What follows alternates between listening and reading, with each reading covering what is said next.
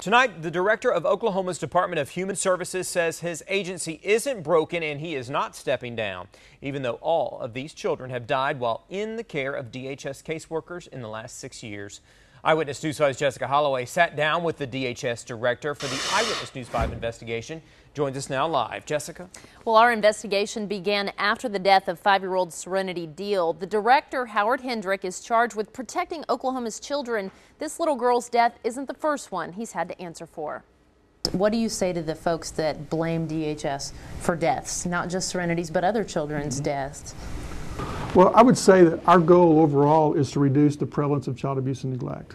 And what's really uh, not appreciated is how much child abuse and neglect has been reduced. Hendricks says that happened after the 2005 beating death of Kelsey Briggs. The agency was under fire to make major changes. Those changes included a statewide hotline, a child welfare database, and restrictions on law enforcement about how they remove children from homes. We wanted to be sure because of the change that we had made that we we were doing things appropriately. So we wanted to know if those changes were good enough, why is DHS admitting it failed again? Hendrick seems to put the blame back on the caseworkers. I think this one case is an unusual case.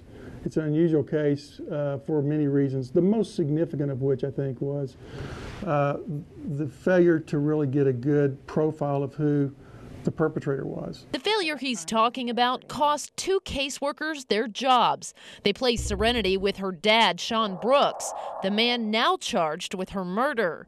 In emails, those fired caseworkers expressed concern about Sean Brooks. My personal responsibility is to do my very best to see that uh, our, our workforce is trained, we have enough workers in the field to do the work as best we can, and we pay the workers as well as we can pay them given all the budget constraints that we had. But is more training and money the solution? Some lawmakers are calling for another major change.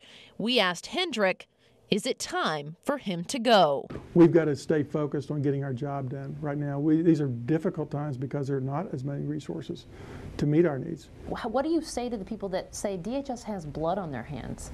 I would just say that overall, we we have uh, thousands of children that we have saved. And the director says Asia Johnson was not in DHS custody when she died. However, she did have involvement with caseworkers. Coming up tonight at 10, we'll have information including accusations that the commission has been violating Open Meetings Act, not conducting proper performance reviews of Director Hendrick, and the governor's criticism of the commission becoming lax. For now, I'm live in the studio. Jessica Holloway, Eyewitness News 5. Okay, Jessica. Jessica touched on several topics with the DHS director. You can watch the complete interview on our website. It's at KOCO.com.